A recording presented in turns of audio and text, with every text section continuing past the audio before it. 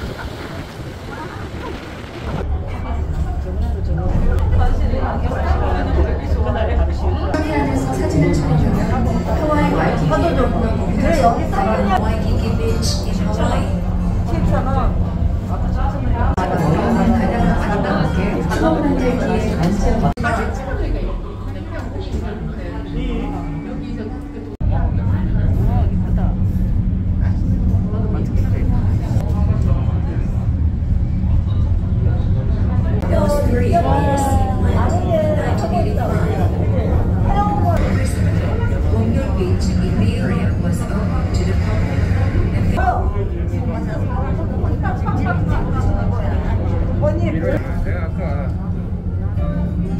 Ladies and gentlemen,